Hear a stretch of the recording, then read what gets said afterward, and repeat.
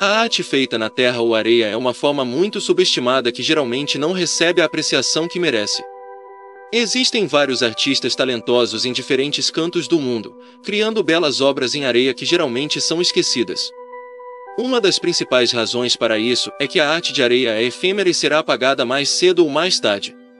No entanto, existem alguns trabalhos nesse campo que deixam uma marca indelével em sua mente. A arte de John Foreman se enquadra nessa categoria. Foreman é o criador de vários estilos de arte sobre areia ou terra.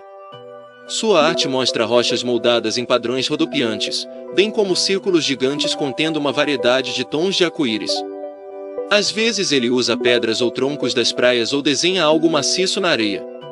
Ele também não fica incomodado porque seu trabalho é apagado devido ao clima e às mudanças climáticas imediatas, pois acredita que sua arte faz parte do processo criativo com o qual ele deve aprender regularmente. Foreman mora em Pembrokeshire, país de Gales, que abriga uma costa generosa. Neste vídeo apresentamos algumas das melhores obras de arte com pedras de praia de John Foreman. São apenas pedras que ele encontrou na praia e as organizou em arranjos.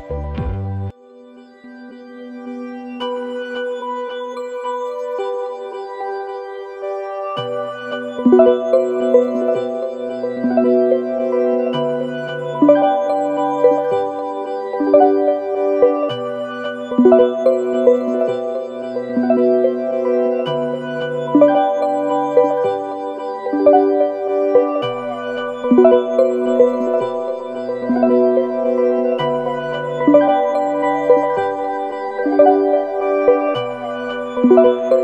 you.